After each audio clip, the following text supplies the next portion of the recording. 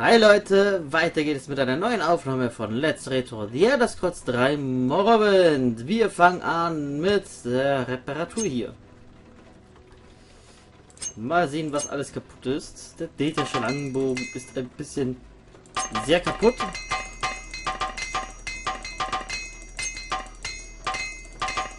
So. Ein paar Reparaturzangen sind wir wieder losgeworden. So, da haben wir einmal hier wieder. Vier Zangen sind wir losgeworden. Das bin ich mal gespannt. Da ist nichts mehr drin. Das heißt, es müsste alles hier, es hat alles hier reingepasst beim letzten Mal. Das finde ich sehr schön. Gefällt mir. Äh, so, haben, also mal kurz nachsehen, ob wir auch alles ha äh, haben, ob alles passt. Es scheint so. Ja, dann lesen wir. Halt, nein, dann verzaubern wir jetzt. Ah, Mist, ich hätte vorher verzaubern sollen. Mist. Mist, Mist, Mist. Na egal, muss ich halt nochmal speichern. Ist nicht so schlimm. Ähm. Wo habe ich hier was mit 80.000? Wo habe ich hier was mit 80.000? Flederschatten hat 60.000. 60.000, 40, 40, 40, äh, 50, 50. Hier muss doch irgendwas mit 80. Da, erleuchteter Schläfer. Versuchen wir es heute nochmal. Da haben wir unseren indoridischen Schild und ich möchte eine dauerhafte Wirkung. Das ist sehr schön. Ähm, Attribut festigen, Stärke auf uns selbst. Ein, warte mal, was waren es? Ich glaube neun Punkte, oder? Neun Punkte. Ja, genau. Wurde zerstört. Schade. Laden.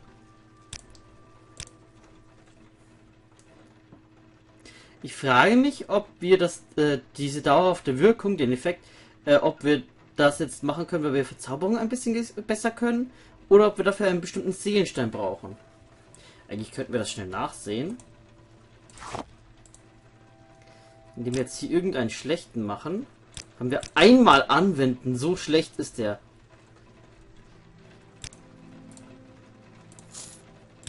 Ah nee, okay, Wirken noch benutzen. Es liegt erst am, am Seelenstein. Okay. Es liegt am Seelenstein. Na gut, lesen wir ein Buch. Ähm. Die Aussteuer? Nein. So, die Wichtigkeit des Wo? Nein.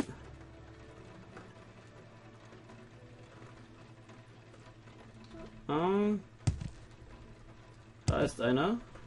Nein, das, das nicht. Äh, haben wir sonst nichts mehr? Okay, wie, wie sieht es denn mit da aus? Gut, Freund. Eine Ehre das ist. Phylogenese, siebte Ausgabe ist das. Lösegeld für Zarek, das habe ich doch da auch schon irgendwo gelesen. Genau, dann kommt das jetzt mal mit. Äh, wenn wir es zweimal haben, kann es einmal weg.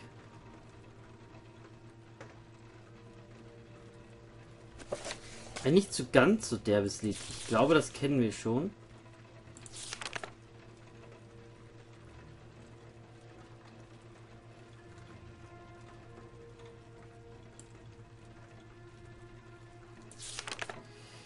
Ja, das kennen wir schon. Das kann weg. Der Toast der Gebete.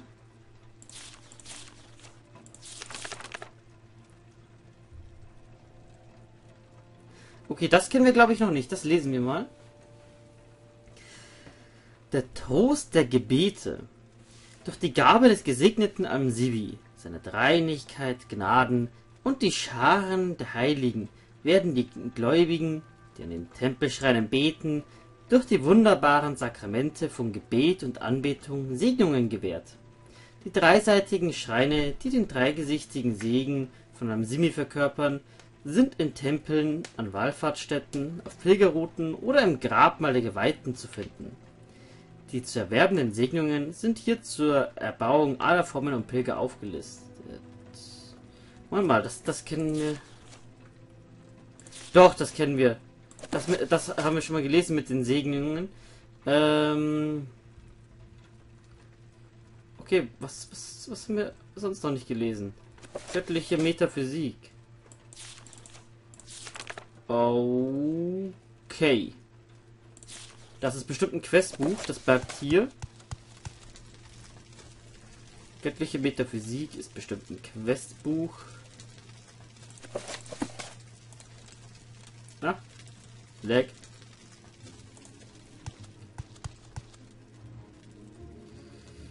Ähm.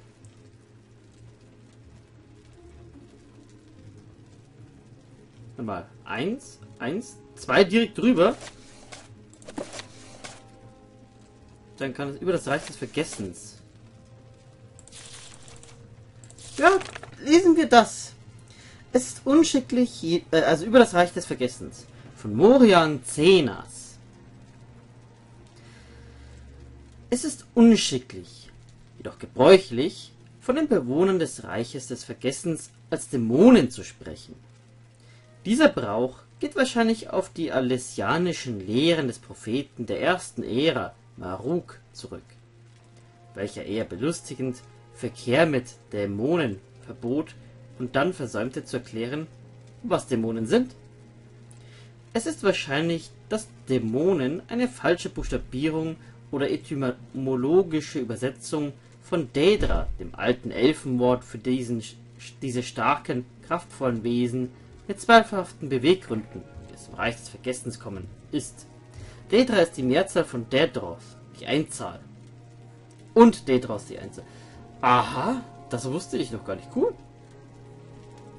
In einer späteren Abhandlung von König Hale, dem Frommen vom Himmelsrand, beinahe tausend Jahre nach der Veröffentlichung der ursprünglichen Lehren, vergleicht er die üblen Machenschaften seiner politischen Gegner mit der Bosheit der Dämonen aus dem Reich des Vergessens.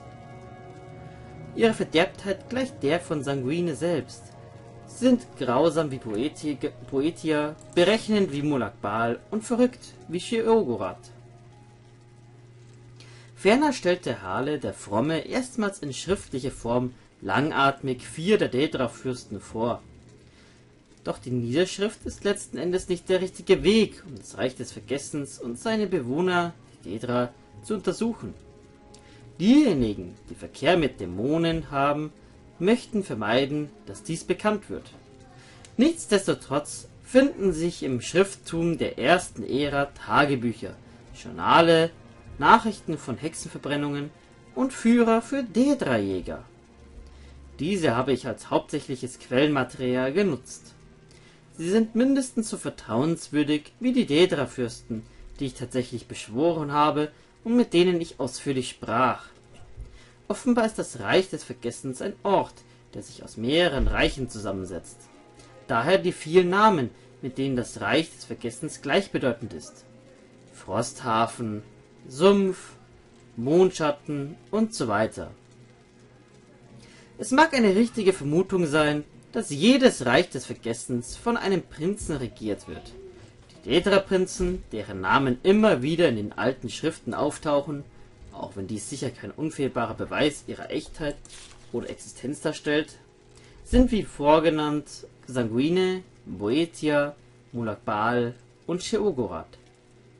Hinzu kommen Azura, Mephala, Clavicus, Vide, Vernimer, Malakat, Hermius oder Herme, Hermeus oder Hormaius oder Herma, scheint keine einheitliche Schreibweise zu geben, Mora, Mira, Yigalak, Nocturnal, Merunes Dagon und Perite. Meine Erfahrung ist, es gibt eine Vielzahl von Daedras. Abgesehen von ihrer ungeheuren Kraft und ihres Hanges zum Extremismus ist es fast unmöglich, sie als Ganzes zu typisieren. Sei es wie es ist. Rein im Sinne der Wissenschaft habe ich hier in einigen Fällen den Versuch gemacht. Merunes Dagon, Molak Pyrite, Boetia und Vernima sind von den Daedras am ehesten dämonisch zu nennen. Das bedeutet, dass ihr Wirken von Natur aus zerstörerisch ist. Natürlich können die anderen Daedra genauso gefährlich sein wie diese fünf, doch selten nur zum Zweck der Zerstörung. Noch sind diese fünf vergleichbar in ihrer Zerstörungswut. Nerunes Dagon scheint Naturkatastrophen, Erdbeben und Vulkanausbrüche zu bevorzugen, um seinem Ärger Luft zu machen. Mulak Bal nutzt die Arbeit anderer Daedra und Boetia beeinflusst die Waffen sterblicher Krieger. Berites Bereich scheint die Pestilenz zu sein und Vernima die Folter. In Vorbereitung der Fortsetzung dieser Reihe werde ich zwei Angelegenheiten untersuchen, die meine Neugier erregen, seit ich meine Laufbahn als Daedra-Forscher begann. Die erste ist ein spezieller Daedroth, vielleicht ein weiterer Daedra-Prinz, der in diversen Teilen der Erstdrucke als Hyazine erwähnt wird. Hyazine wurde der Jäger der Prinzen und der Vater der Menschentiere genannt aber ich habe noch niemanden gefunden, der ihn beschwören konnte. Das andere, weitaus zweifelhaftere meiner Ziele ist, etwas zu finden, das Sterblichen den Übergang ins Reich des Vergessens ermöglicht. Es war schon immer meine Auffassung, dass wir nur das fürchten müssen, was wir nicht verstehen. Und mit diesem Gedanken verfolge ich stets meine Ziele. Das Buch finde ich toll, also das bleibt hier, der Rest wird verkauft.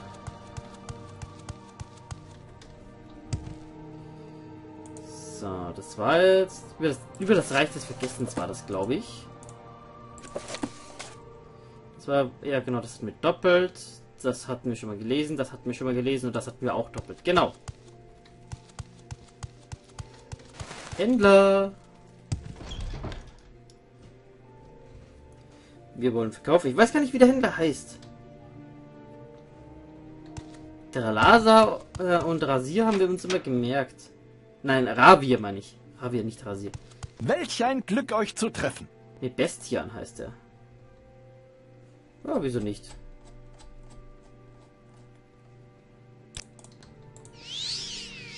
So.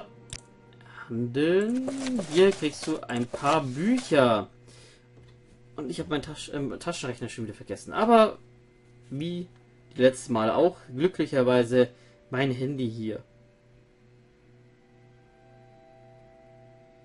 So, das sind 102. Und wir waren bei 1,79.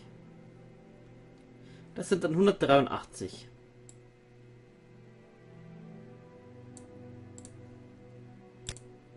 Leider nicht. Aber 181. Sehr schön.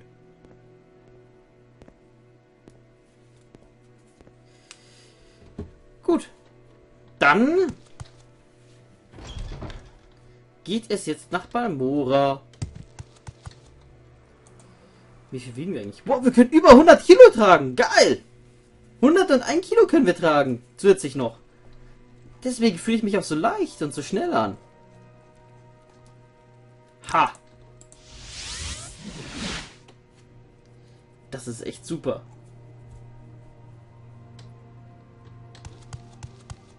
Zack und zack. Seht ihr? so schnell und so weit springen.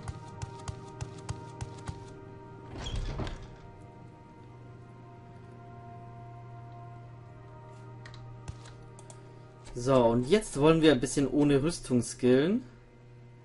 Üben. Wenn ich etwas für euch tun kann, so wäre mir das eine Freude. Ohne Rüstung. Auf 37 Punkte. So, und dann würde ich jetzt einfach mit dem Schlickschreiter ein paar Mal reisen. Dazu aber noch ein bisschen Wasseratmen äh, üben. Äh, ah, okay, wir hatten ja letztens erst einen Punkt Veränderung. Und das, ja, dann werden wir da wahrscheinlich heute nicht viel kriegen. Und dafür haben wir auch erst einen Punkt. Dann wird das ein bisschen dauern. Okay, das reicht. Warum gehen, wenn ihr auch reiten könnt? weil ich reite. Suran. So, Molak wollen wir heute machen. Wo es so ein schöner Tag hier in Suran wäre. Warum gehen, wenn ihr reiten könnt? So, das sage ich dir. Weil ich gerade überhaupt... Ich will überhaupt nicht gehen, ich will reiten. Warum soll ich dir dann überhaupt antworten auf diese Frage, wenn ich eh reiten will?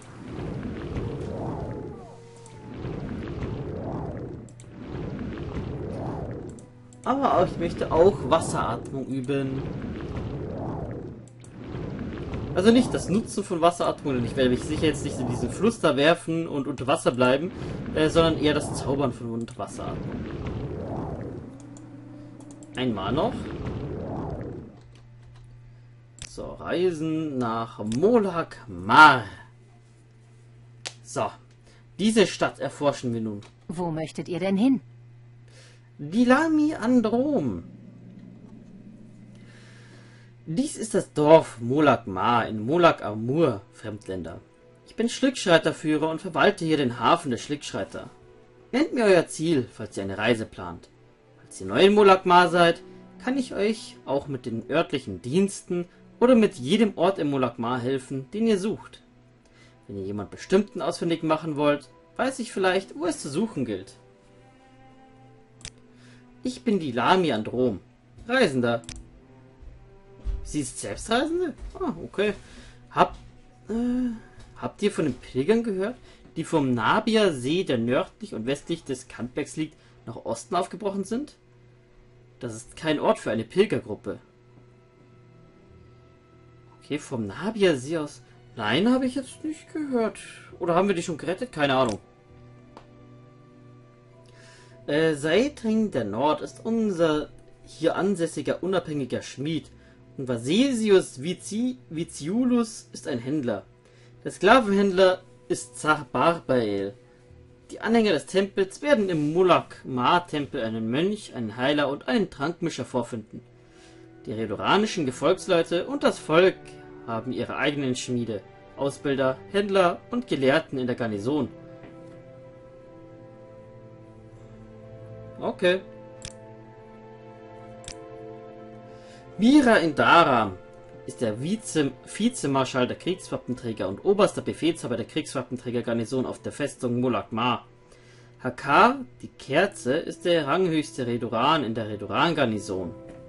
Tara Rotelot ist der Hofkämmerer des Tempels Ma. Nun, das kennen wir. Haben wir auch schon mal gelesen. Ist zwar länger her, aber wir haben das schon mal gelesen. Oder?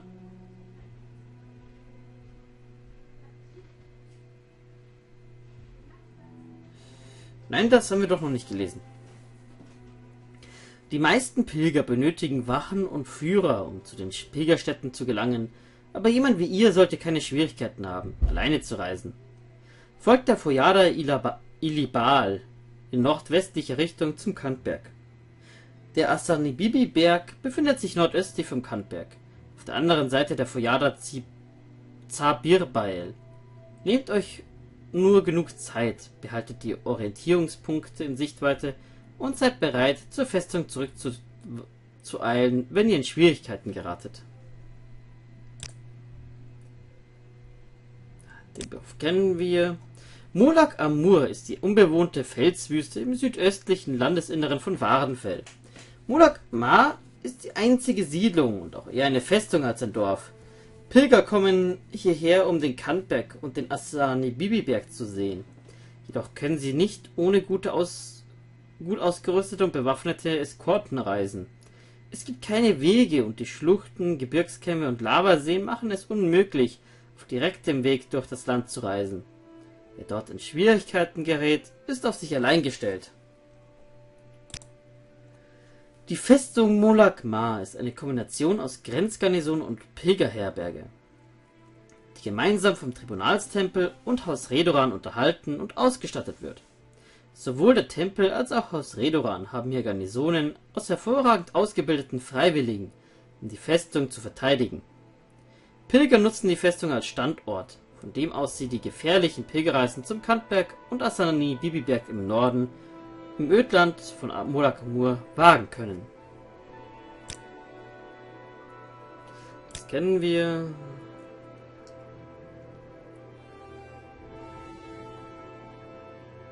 Kennen wir. Schlittschalter transportieren Passagiere und Fracht zwischen den Siedlungen in Wadenfell hin und her. Der Preis hängt von der Entfernung ab. Schlittschalter sind riesige Insekten, in denen Panzer der Kreatur wird eine Kabine für Passagiere und Fracht gehüllt. Der Führer lenkt das Tier durch direkte Manipulation der freiliegenden Organe und Gewebestellen. Schrägschleiter verkehren zwischen Aldrun, Balmora, Sedanin, Suran, Gnisis, Molagmar, Margan und der nördlichen Anlegestelle in Vivek.